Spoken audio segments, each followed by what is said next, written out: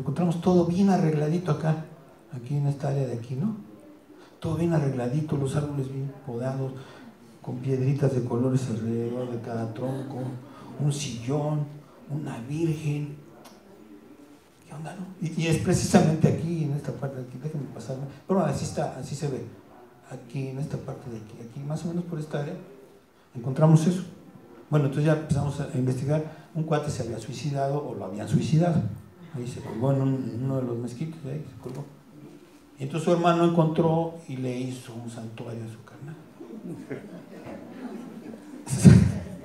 Entonces, cuando, le hablé a la compañera, le digo, oye, ¿qué hacemos?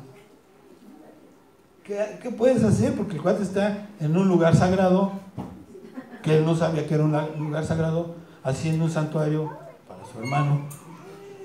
¿Cómo le hacemos, no? O sea, se lo dejaron. Se lo dejaron porque, pues, ¿cómo se lo quitan? ¿Cómo le dices que no? Además es medio violenta la zona, ¿no? De puros cholos ahí. Entonces, ¿cómo le haces? Pues se lo dejaron. Pues el cuate estaba haciendo algo sagrado en un lugar sagrado, aunque no lo sabía. Entonces, de ese tipo de cosas son las que nos encontramos, ¿no? Lo tienes en Cerro Tlaloc. Ah, sí, yo trabajé en el lado. En el Cerro Tlaloc que había un chavo que se suicidó. Se quedó a dormir ahí en diciembre. Y hoy es ahí hay una, capilla para el susodicho. Sí, a mí me tocó, me tocó trabajar en, en el Monte Tlaloc hace 10 años, poco más.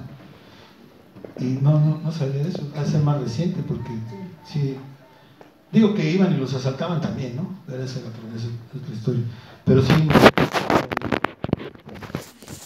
uno de los muros de ahí, Tlaloc, El Tlaloc es un cerro